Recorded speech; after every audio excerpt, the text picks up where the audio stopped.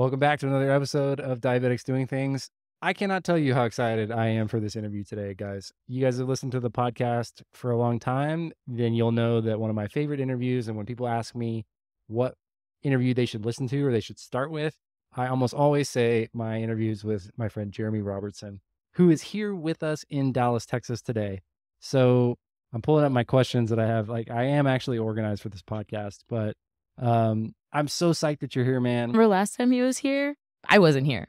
Yeah. Well, I've heard the story though, because like you said, you were very excited for this episode. I was. I- So I was telling Ashley and Eritrea about the last time you were in Texas, which was in 2018. Yeah. And those of you who listen to the podcast and really know me, love know love to like I love saying yes to things. So you were like, "Hey, I'm coming to Dallas. I'm doing this conference. You know, it's a it's a thing I'm doing on the side. If I could stay with you guys, that'd be awesome." And we were like, "Oh, I was like, oh yeah, no problem."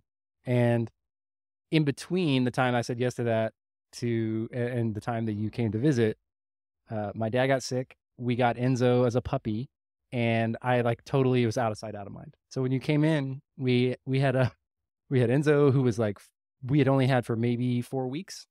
He was a really excitable. A puppy. very excitable puppy. He's still very I was about excitable, to say. still pretty puppyish. Yeah. Uh, and then on Jeremy's first night, so he like roll in like I don't know how many hours of travel from Australia, like so many difficult day coming in. And the first night, like Michael J. Fox, the cat, like throws up in the bed. Enzo like goes to the bathroom on the floor. Like our little apartment is in chaos. My dad's in the hospital. Like I'm, you know, frazzled all over the place. And Jeremy just could not have been a more gracious and awesome guest. And even in the middle of that, you got to go to a conference. And I think I talked about this when we did our second interview, Hmm.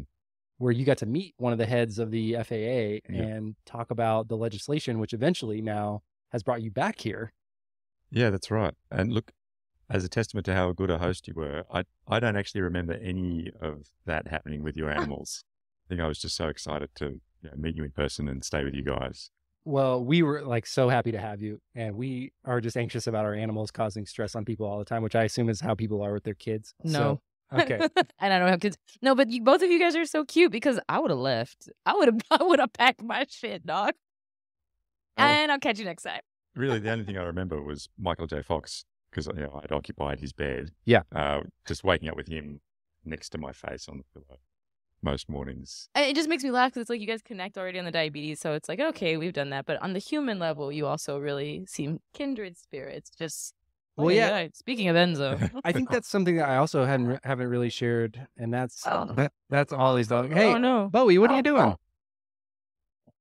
Uh, so we had a little bit of a dog interruption. Not Enzo, but another one of our office dogs at Recreation, because we're recording this in person at Recreation Dallas headquarters. And those of you who are watching on YouTube can see us here.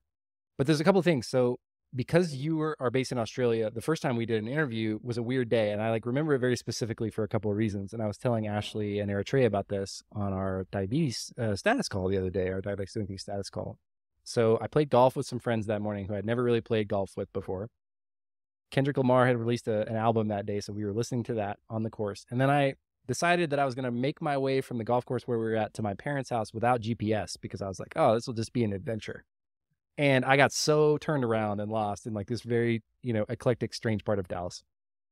So anyway, I roll up to my parents' house, barely like pass go, do not collect $200 like Monopoly thing, and like run upstairs to their guest room, set up the podcast, which I had never recorded there, to talk to you for the first time. And I remember that episode, like I had had some people from New Zealand and some people from international like communities on the podcast at that point, but I never really realized how many people were listening to it or how they were. And you were telling me about a trip that you were taking to maybe your in-laws or a family trip Hmm. and you had to join your family there later. So you were like had a long road trip by yourself and you were listening to the podcast. And that for me for the first time like helped me understand that the podcast was global. Like people really were listening to it everywhere. And so I just I think about that and I hold it as a very special time for me. So that's a lot of, of our friendship as well as like and I just love your story and, and you're you're my great friend. So thank you for being here today. Uh, absolute pleasure to be here again. So you've come back to Dallas, and I think that's where we were going to get to is that all of this traveling and being a pilot and these other episodes that you've done have brought you back here, right?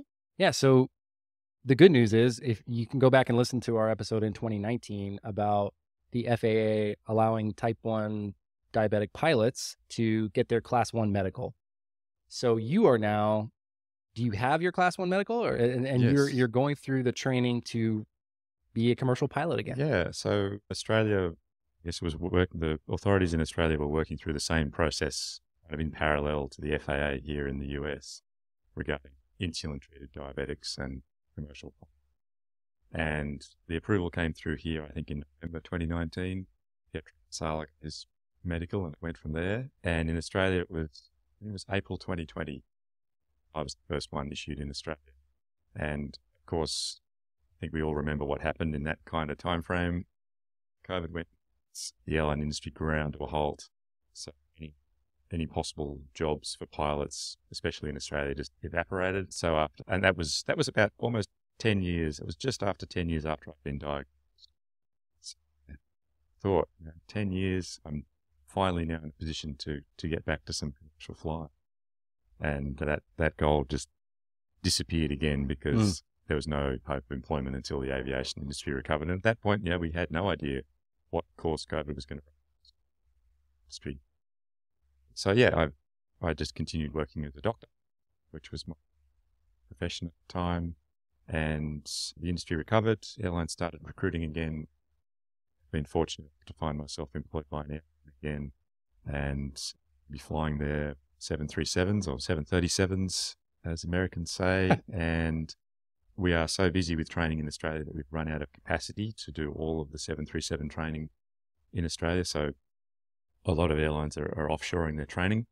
So the company I work for is actually renting a, a simulator off Southwest Airlines here in Dallas. So I'm here in Dallas from 737 training.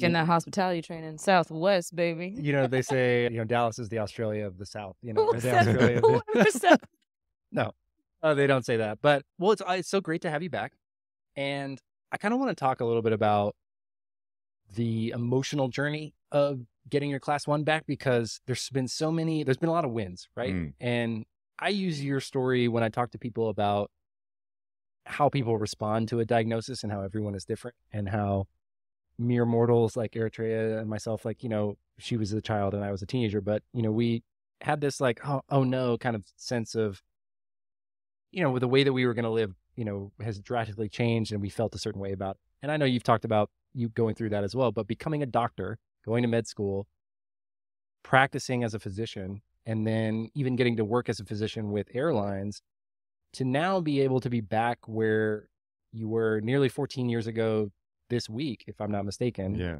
Yeah. where you're diagnosed in Los Angeles. You grew up wanting to be a pilot. You know, talk, you talked about going to air shows with your dad and, you know, falling in love with the sky. I've learned a little bit since getting to know you. We've done some work on the professional side at recreation on pilot recruitment. And, you know, sometimes like being a pilot is born. Like you just, you know, a lot of those guys and, you know, Jerry Brzezowski, friend of the podcast, you guys just love to fly. Mm. And getting that taken away and then getting it back, but then still still having to go through a nearly five year journey to get to where you're still you're still training to get back in the cockpit. What's that been like? Oh, well, it's yeah, a series of highs and lows, I guess. Uh, yeah, I guess the, the journey from initial diagnosis through to receiving my medical was, I think, was just incremental. Yeah, there were no major setbacks in terms of getting back. There were no giant leaps forward, with the exception when that medical was finally issued. That was a pretty slow and steady kind of journey. But yeah, the last four years have been a bit more of a a roller coaster that because I've been working with the, the, the regulator in Australia, I kind of knew that my medical was probably coming. And when COVID kicked off, I didn't hear from them, didn't hear from them. I was just about to write them an email. I composed it in my head saying, we've probably got bigger fish to fry. Let's just put this project on hold. And yeah, that, that email was rattling around in my head when I got the email with my medical being issued. I was, that just kind of added an element of being unexpected. At the same time, knowing that I had this medical towards, you know, that had been a three year process to get that medical approved. And there was now no way for me to actually practically use it. I remember I was working, working in family medicine at the time and had a gap between patients. Just remember on my desk whether I should cry. But just you know, the, the irony of the situation. Yeah. And and then COVID, I think yeah, everyone has stories of what they did for work, personally and professionally during COVID. Yeah, I'm the same. I got got an opportunity for a job that was very unexpected and it was just going to be for a month. And then there were some staffing changes while I was there, and suddenly I was the only at this company for many months. Fantastic opportunity for my career, lots of great experience, a ridiculous level of work, never to repeat, and and then suddenly ending up in a position where I applied to two major airline job offers from two major. Feast, yeah, just a ridiculous years. Yeah, now I feel like at the point actually employed by an airline, being allocated an airplane, doing specific training for that airplane.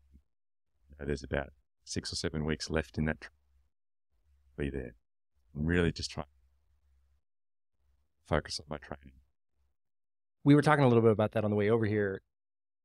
Visualizing that day where you're back in the cockpit and you're going through the pre-flight and you're there with your, you know, your captain as, as a first officer. Have you? How many times have you visualized that over the last 14 years? Yeah, countless. Yeah. And you're close. It's Yeah, it's that's right, right. there. In the scheme of things, I'm this close. It's nice to hear a story where we already know that there's a happy ending, you Mm. know? But as you were like, I don't know, in my head, I see like a Hercules type journey, some Odysseus thing where you have to beat all these monsters, get through all these beasts. How do you get to the next challenge? I think this is something I struggle with every time we talk to our guests because like, you guys all seem so motivated and driven. It's like you didn't ever just sit in the room in the dark and cry. Like you didn't just want to give up. Yeah, yeah, there were days where I wondered what I was doing. Yeah, medical training is hard. It's hard academically, it's hard emotionally, it's physically, working hours. And there were days where I really questioned my life choices. But, and the last four years have been particularly draining. I think I'm just looking forward to having a job and just for 12 months, just going to work, doing my job Hmm. going. Just, I just want to cruise for a bit because yeah, literally the last 14 years, it's been a constant, just about out of push. So I need to, yeah, a year of just cruising. And, and I'm sure there's, there, there's things in the back of my mind that I, that incomplete things I want to work on, things I want to improve in, in the diabetes space, other little personal projects. There's plenty for me to do. Just Is it a personality Yes. thing? Do you think you guys are just because it kind of just reminds me of you? Do you just have push in you? Like there's just an unlimited amount of push? Like I think for sure limited for me. I can't, you know. Yeah, well, I, I guess till now I never found my limit. Recently found my limit. So uh, okay. yeah. So where did did where did were there moments where you needed to find more push and you were like, I just I need to get to this point or I need to get here. What helped you get to that to the next step? Well, I guess, and one of my neighbours said this the other day. He, he said, you know, you seem to be the, the master of the long game. And that helps with diabetes management.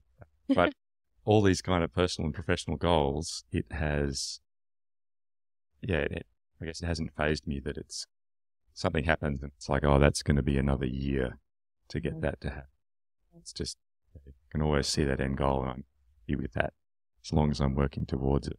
So I think that, yeah, that mindset Wow. helps. And that's it's not something I've ever consciously adopted. It's just part of personality. Interesting. You might Yeah. have ran marathons in another life. I I, don't know. know. That's what it's Yeah. giving. it it is an interesting like allegory for diabetes because it is you know you talked about ups and downs we talked about the long game you know you you blink and 14 years goes by you know and you're managing your sugars every day Mm. how many injections how many you know finger pricks how many cgm changes like Yeah, so yeah. many and you don't notice them day by day but as you zoom out you start to say oh wow i've like check, checked my sugar 30,000 times Mm. you know that's it's it's remarkable i think I want to shift into that into my question, but like you know, it is a it is a long game. I think life is you know, unfortunately, we don't know how much time we have, right? So it's both a short and long game. You have to live for the present and also you know pace yourself for Yeah. for the long journey. Yeah. But um, you've mentioned something about you know being a good example for life with diabetes, but what I wanted to know and like I'm curious about from your journey as a healthcare provider. Like looking back, how has your journey practicing medicine made you see your own diabetes differently or or even change the way that you think about it? Yeah, it's it's an interesting question because it certainly gives you a slightly different perspective on uh, your own personal condition. I definitely remember the week at medical school where we were just focusing on diabetes for a week and just learning about all the horrible ways you can die from this disease. It's uh, pretty sobering hearing doctors speak in doctor speak to other doctors about all the things that can go wrong whilst sitting there as a person with diabetes trying not to take it all personally. Yeah, that was pretty sobering. It's hard Um, to do it. yeah, I, I yeah. find I I found it very difficult sometimes to hear people talking can't do in, that, in even now. platitudes. You know, Yeah, and because like you said, it's only a week, Yep. and you know, but for you, it's every minute of every day. forever. So, and I, we talk a lot about patient lived experience here on the podcast and how important it is because we it's not just one week for us, Mm. even though you know it's formal medical training and doctor speak as you characterize, but we know so much about what's going on, and so then to be able to see it and talk about some of the things that are uncomfortable for us to think about, obviously, really sobering. Yeah, yeah. And then out in clinical practice, working in the hospitals, that that gives you a very skewed viewpoint of people with diabetes because you only see the people that are, you know, have ended up in DKA or have not managed themselves for a long period of time and have developed complications. So seeing young people with significant levels of complication was really, really very sobering and upsetting because in Australia, the public healthcare system makes all the you know, the medical side of things available for themselves. Um, so that I that, that definitely gave me more motivation to to focus on my own diabetes. But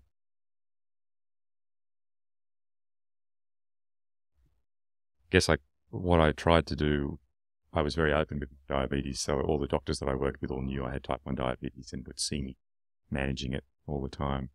So I guess I just became that was my little mission. I would just talk to doctors about type 1 diabetes because it's a recurring theme that as a doctor, if you don't specialize in it or if you don't encounter it on a regular basis, it does. It becomes a week of med school that you probably don't cross paths with again. Doctors just aren't familiar with it. Yeah, that opportunity for doctors that I work with on a day to day basis to, to interact with it, that was my little, it's my little attempt to educate the, Yeah, like a little Doctors. re-engagement. He took a pledge without even knowing. You took a pledge. No, no, there's this pledge to end stigma, right? And I think Mm. that we forget that stigma is perpetuated in everyday conversations and small, like, societal opinion. yeah. So if Mhm. you are talking to everyday physicians on a human level, it's like, hey, see me, Jeremy, like, see me as a patient instead of XYZ person who walks through the door. And that's Yeah. going to humanize people with diabetes more to them. Like, you are defeating stigma in a way or fighting it. It's like, let's get this man a superhero cape at this point. Like, Yeah.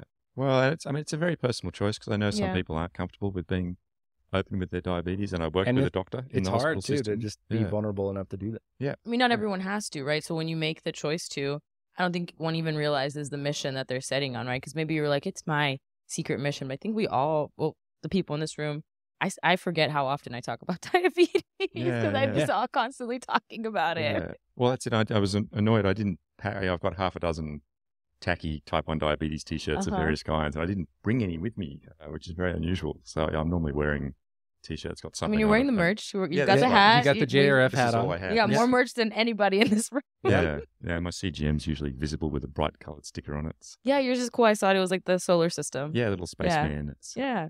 Man, men's Yeah. is trending. Men's hey, cool. I I wear I have a little peels thing on my pump now, cool. and I never thought I would be a sticker guy on my pump. yeah. I'm a donut T1 Tactical girly. Look at you go! Shout out man. to our friends over at T1 Tactical. and Yeah, I haven't and- got anything for my pump yet. We got to get you some. Just- Yeah, Get some fun. Yeah, we gotta get you hook, hook you up with some stickers. Maybe we, Mhm. maybe we do like maybe we just pitch some aviation stickers for for you guys. Wouldn't yeah. that well, be I've been cool? thinking that I should make a CGM sticker because the G6 well, it looks like the fuselage of a stubby airplane. You can make one oh with yeah. wings and an engine and something. I think we got ourselves a good idea cooking up here. This is on the, the list Yeah, of there things we to do go. in my, my brain. That I, I love it. to Right love out the it. Maybe we can help. Maybe we can help. Yeah, someone out there in T1 land who's a, a graphic designer or something, please make me an airplane sticker for my Say CGM. less. Hey, I was gonna say, careful Call what you wish for because like, we're gonna make that work.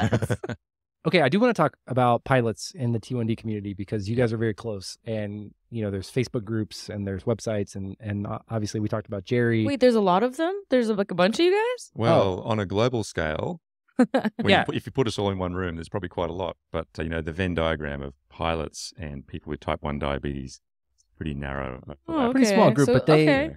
I th- I feel like you guys are very well networked, Okay. uh, and I think the the peer recommendation community where Mm. you find somebody who's interested in aviation or or as a pilot, and you know whether commercially or just for fun, hobbyist. Yeah. you guys get connected pretty quickly. It Yeah. seems so. In the last four years or so, what have those conversations been like as you guys are kind of seeing those people like you mentioned, like like Pietro, like John, who are or are now in the captain's seat seat living with type one. Yeah. And then you know you also have like the hobbyists like like Jerry who are flying Mm-hmm. around and going to and you know meeting other pilots with diabetes and kind of evangelizing it in that way.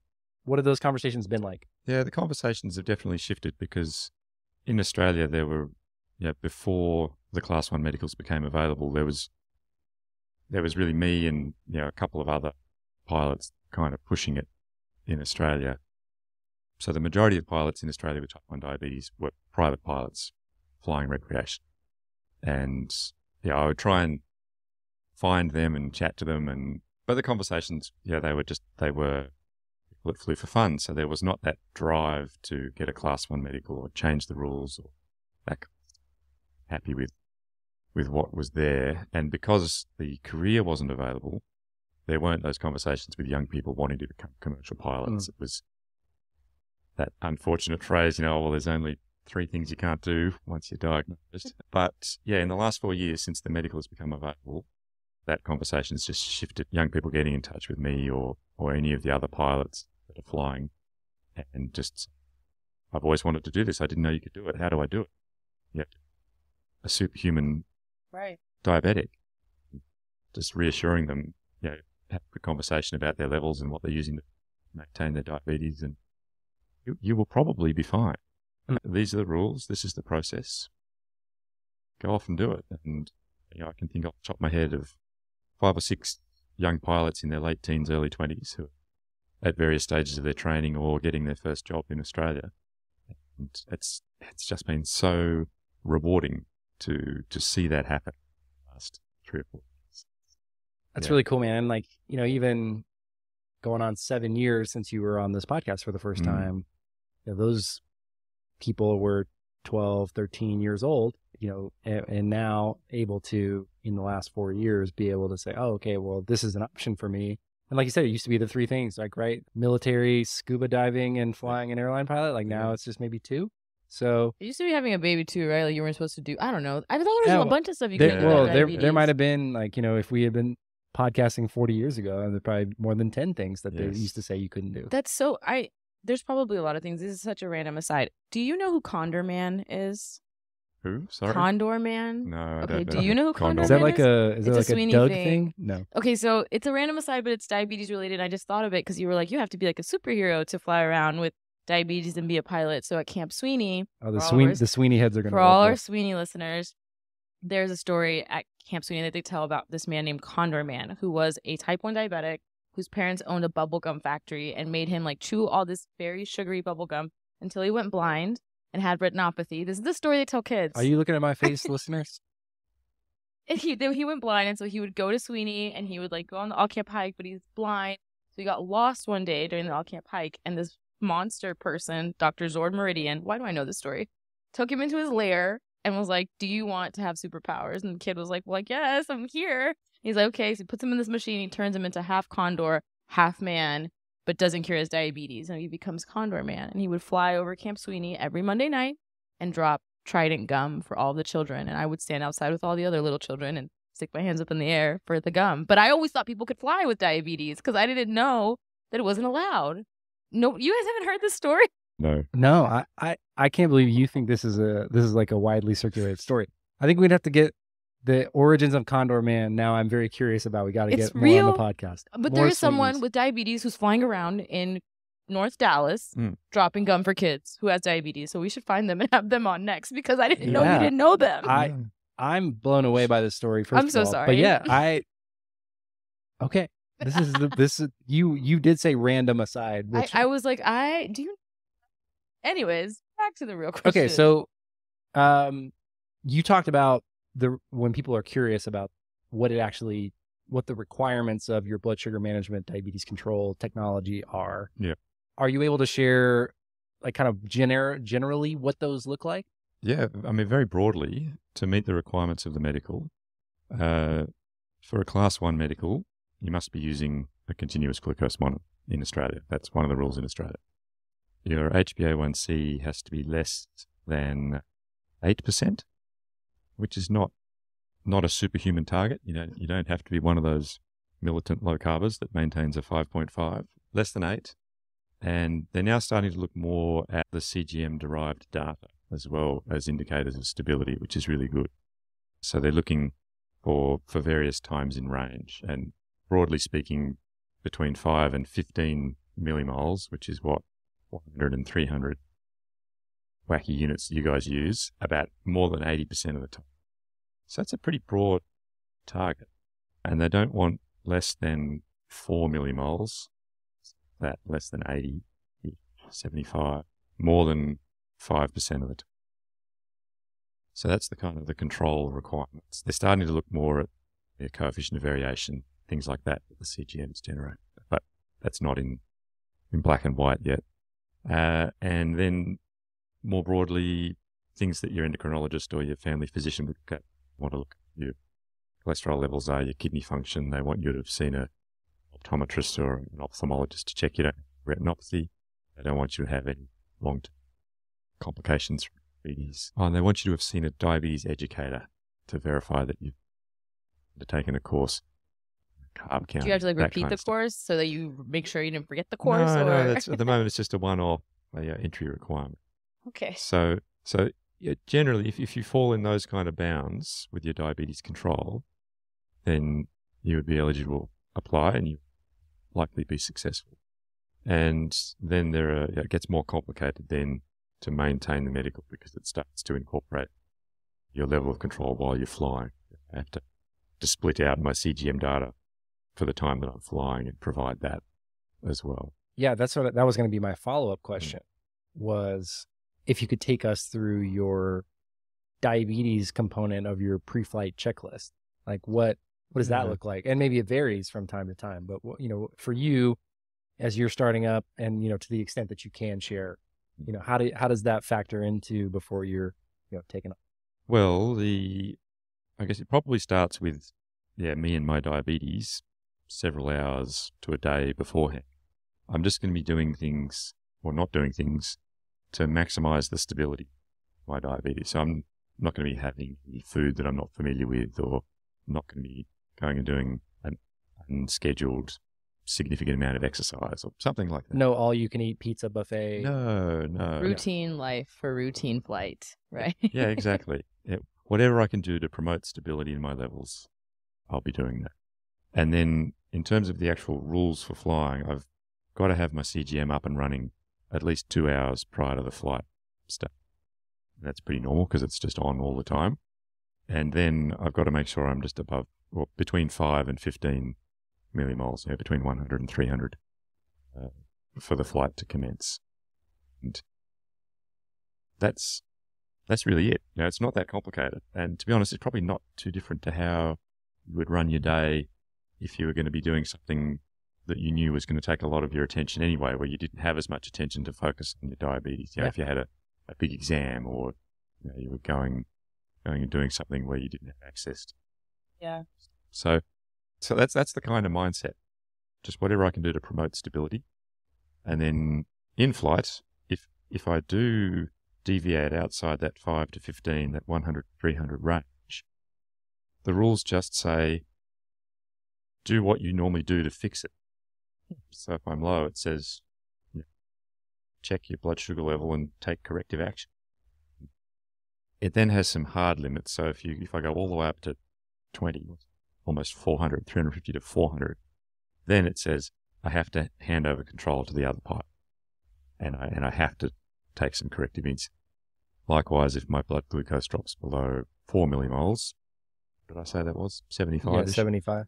I have to eat rapid acting carbs over to the other pilot. But again, coming back to the requirements of getting the medical, you know, I've demonstrated that my risk of ending up in those positions is really, really small. So that's that's how it's supported. It kind of sounds really logical, honestly. Of It's like uh, insurance. You've yeah. never had a, a- the progressive thing that they make you put in your car so they can like I don't know. I don't have progressive, but I've seen it on TV and they like measure like how fast you're driving to see yeah. how much your insurance is going to be every month because I guess they're If you're measuring the slamming risk. on your brakes and yeah, like, are you, know, texting while you're driving? Are you picking Yeah. up your phone? So I guess it's a similar way of them analyzing the risk factor of your That- diabetes. And that's you've just summarized the whole of aviation medicine. Ah, It's risk, and, and it's specifically it's incapacitation risk due to whatever medical condition you have. So if you can demonstrate that your incapacitation risk meets the threshold for certification, you should be able to hold a medical. right. Because like, what's stopping a regular pilot from having a I don't know. I hope this never happens to anyone, but like an aneurysm, a seizure, heart like an- attack. Yeah. heart attack, stroke. Like a regular schmegular dude can get on. a well, and I think if I'm not mistaken, some of that thinking is exactly what we're talking about factored into at least the beginnings of allowing pilots with insulin dependent diabetes to get their class one medical back Yeah. because you can track through the continuous glucose monitor. That's exactly right. You can quantify your incapacitation risk because you can Right. show the authorities exactly how much time out of your entire life you spend at a very low blood glucose level. and even like you know just reviewing your flight logs like you Mm. said you have to track it during the flight separately from the rest of your sh- of your Yeah. time so during flight like you could have 100% adherence to to the protocols over a long period of time and then again it's like okay well the risk of this is Yeah. fairly low And that that kind of data was exactly one of the things that supported the change in Australia. You know, the UK had been allowing insulin dependent diabetics to fly for a number of years, and they actually published their follow up data. So they they published for all that in flight data how many times the pilots went high, low, etc. Basically validated the protocol. work. So that was one of the bits of yeah, published medical evidence that supported the change in Australia. Wow. Lit. Yeah. So CGM's data, big data.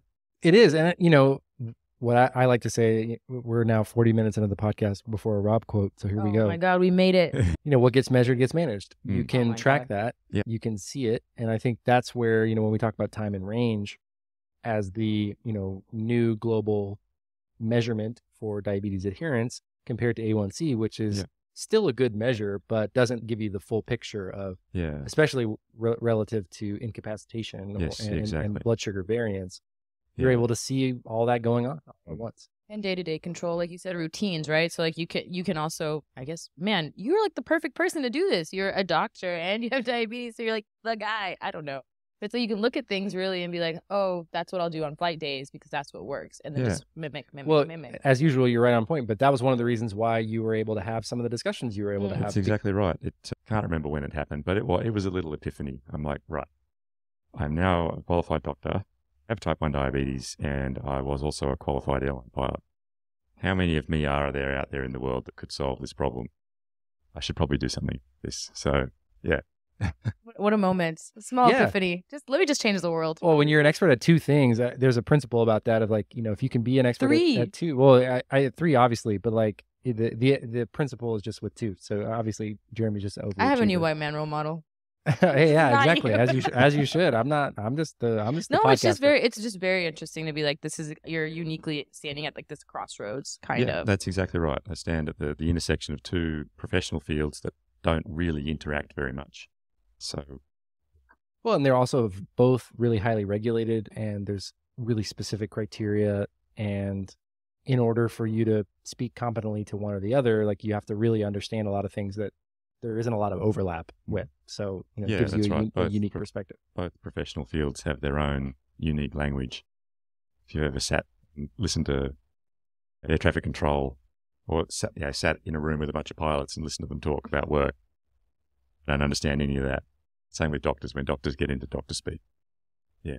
So being able to translate Yeah, has been really useful. be an interpreter, mm. right? And I think also like on the legislative side, like not really understanding either of those. Yeah. And so like, you know, a pilot could go in front of that group and a doctor could go in front of that group and not be able to create the same resonance as an interpreter.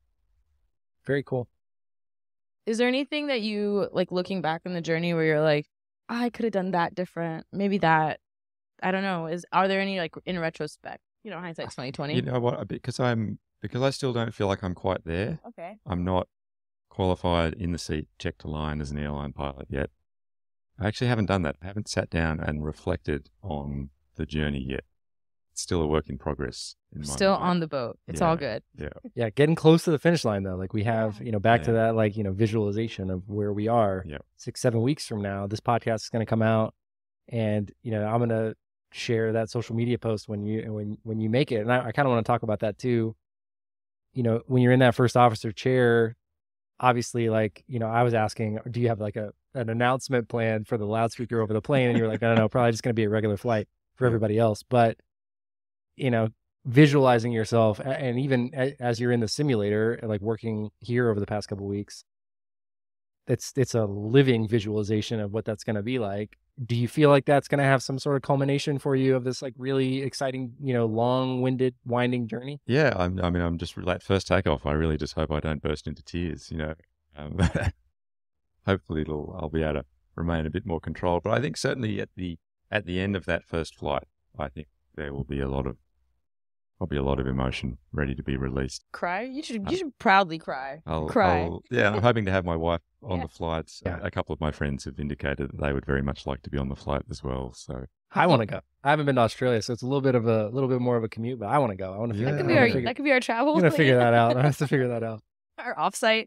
Yeah i have to allocate it some budget in different places than i had planned but we'll, yeah maybe we'll figure that out yeah, no, I'm, I'm very much looking forward to it. Yeah, I can. I'm just I'm psyched, man. I really am. I because you know th- at the beginning of this podcast, and we've kind of been revisiting some of our favorite guests from the first 100 episodes because a Eritrea wasn't there to interview them, and b I think we've come a long way. A just a long time, and Mhm. I and a lot more conversations, and I'm a lot more educated about diabetes, not just from my own perspective.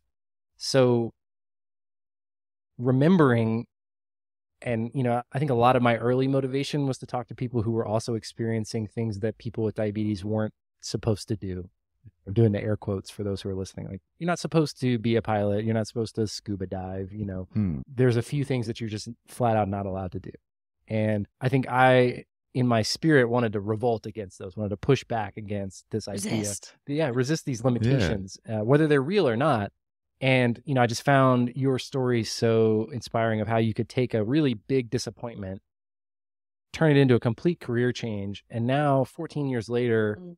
like you know being able to go back and tell yourself in los angeles 14 years ago hey like don't there, this is going to be a wild journey but like Yeah, hang in there It's going to be all right. Yeah. you know i just feel really inspired by that and I, i'm so glad that we were able to make this happen while you were here and i just i feel like your perspective as well and like we talked about the pilot community but like you're you're not the only story of a guy that lost his wings and is able to get them back or a guy a kid that had a dream to be a pilot and for a while that wasn't going to be the case and now they can you know thinking of pietro who's a young guy and was diagnosed with diabetes his path to being a commercial pilot seemingly gone and then Yeah. gets to be one of the first if not the first person in the US to get his class 1 medical with type 1 diabetes and like there's still it's still early you know we still get to be we're still in the first generation of people with diabetes doing things for the first time Yeah, that's right. And it's I think it's only going to get easier from here. You know, the closed loop pumps are just going to get better and better and someone will make some advancement with islet cell implants, someone will figure that out. It is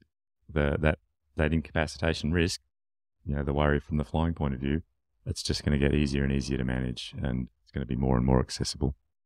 So I, yeah, I think things only look better from here. it's cool man I, you know knowing that and just thinking about telling kids and like telling people when i get to go out and meet them meet them that there are pilots flying commercial aircraft with type 1 diabetes and you may not know it but you might be on one of their flights I mean, I, I love, I, and when I used to fly, I always used to love getting kids into the flight deck at the end of the flight and just letting them sit in the seat and pull levers and press buttons and stuff like that. And I think when, uh, yeah, when the first little kid that's got type 1 diabetes comes up to visit the flight deck after a flight, that'll be a really special moment. Oh, that's so sweet. Yeah. I was definitely the kid that would win the cockpit. My my dad would always take me up to the front of the plane, the Yeah. international flights, and I'd want to see all this like this stuff. And they would let you touch the button, so it would be so cool to see a guy with a hey kid, look at my meter, look at my CGM. What a moment. Yeah, That is gonna be sweet. Maybe you'll cry then too. Yeah, probably. I I would.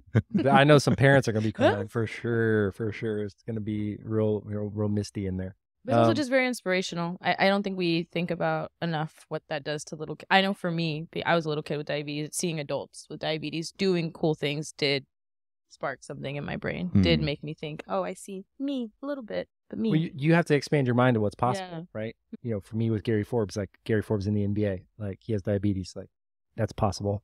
Yeah. Um, and you know, Jeremy in the cockpit of a of a commercial airliner flying, you know, that for somebody that could be the whole reason they go to flight school. yeah. You know, Eritrea going from Sweeney Condor Man I hate you. recipient to like leading global panels. You know, like those are those are real.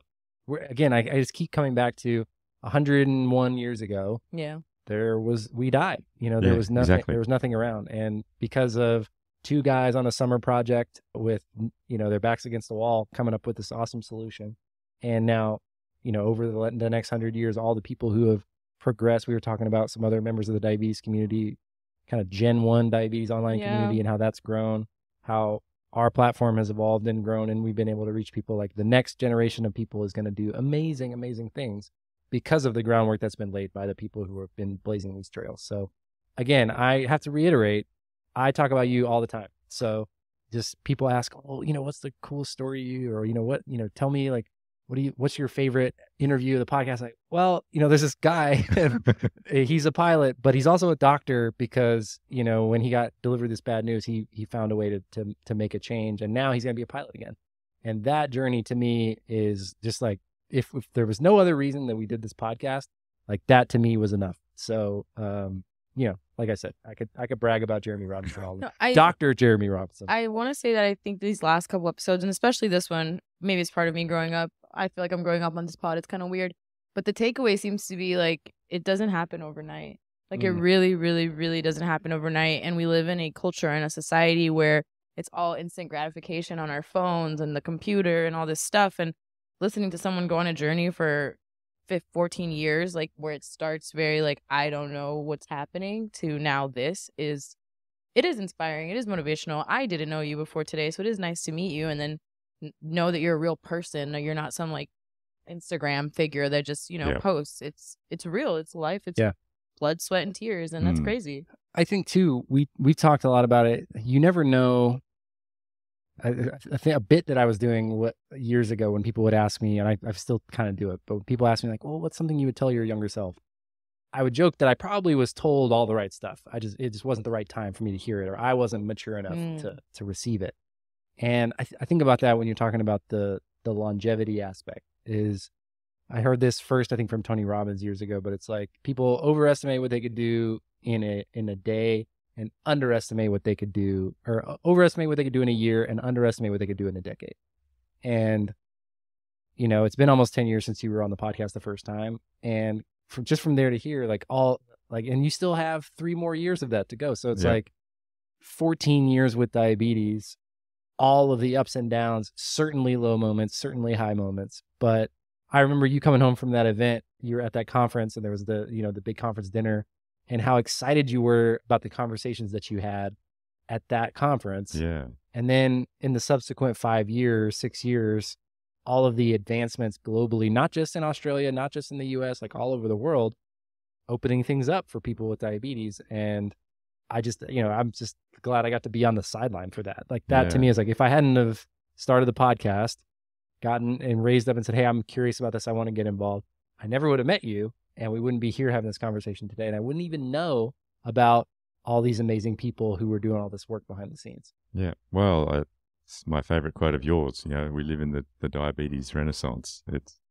That's a Rob Howe. Oh man. well, if it isn't, I'm I'm going to attribute it to him. I'll gonna- take it. we're Yeah, gonna have to put it on a T1D t-shirt. Renaissance, Yeah, I think I did. I did. I, that was one of my presentations, living in the T1D Renaissance. Probably one of my first ones, honestly. Maybe you should revisit that one. Yeah, yeah, This is this is good. Yeah. Yeah. That'll preach, right? A That's what bar. as they say over here. Yeah, yeah, we are. I, and I think you know, last year that was really reinforced for me when we went to ADA, the ADA scientific sessions, because something that I think about a lot is when I was diagnosed, they talked about automated insulin delivery. They talked about hybrid closed loop systems that, that, that someday you're going to be able to look at your phone or your pump and see what your blood sugar was. Yeah. And now we're living in that. That's And right. Love. I love looking at my watch.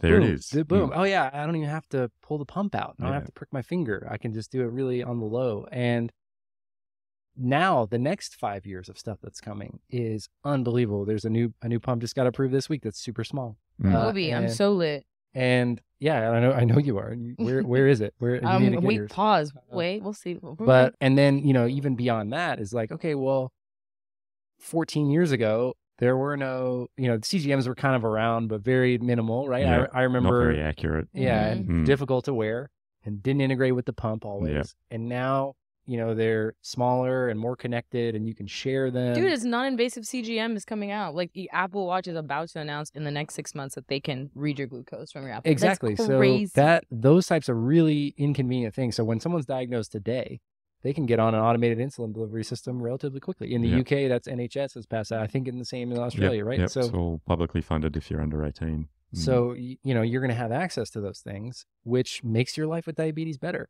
And the next wave of that is going to continue. So I just feel like we are in the T1D renaissance. This is, it, it is a ter- diabetes is terrible. We all would give it back if we could, but the, the good that's coming out of it and the opportunities that are coming out of it for Mhm. people, I think are, have never been more abundant. Yeah. I would agree. So cool. All right. Well, you guys don't get to go to dinner with with me and Jeremy, but you just trust that we're going to have a good time. So, Jeremy, I want to thank you, man, for all your support over the years and just for being a true friend of the podcast and a friend of mine in real life. And man, welcome back to Dallas. Now, again, thank you very much for having me. It's just it's fantastic to be here in person. In Dallas with Big Tex as your guide, who could do it better? I don't I know, and like you know, you guys want to know what it's like to hang out with Rob Howe. Well, Michael J. Fox is going to throw up on your bed. Enzo's going to go to the bathroom in your room, and you still get to be friends after that. So yeah, it's just cute. real life. Y'all are cute. All right, see you guys next time.